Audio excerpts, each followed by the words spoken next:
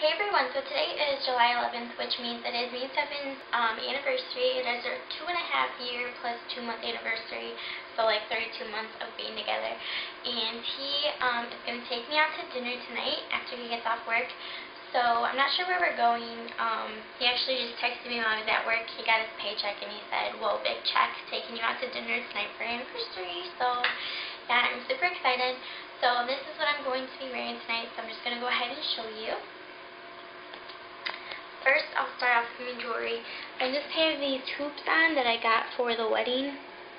They're like black rhinestones and it goes into just regular rhinestones and then back into black. Super cute. And that's it for the jewelry besides my ring that I always wear. Um, and then I have on this cream top that I got at TJ Maxx. Um, it's just real flowy, very feminine, very pretty. Um, it has these like buttons on it.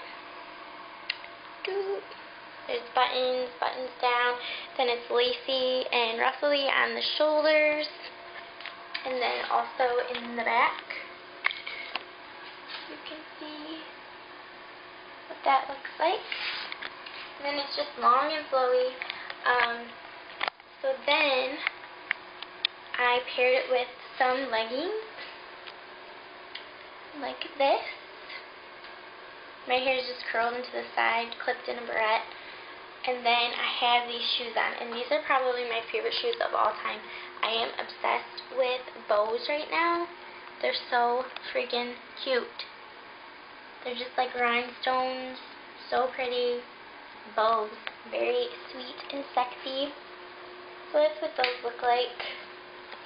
And yeah, that is the full outfit of what I'm wearing tonight.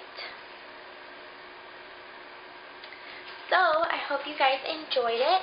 Um, if you have any suggestions or videos you want to see and anything else, I don't know, just leave comments below. Um, please like this if you like this outfit and give me a thumbs up.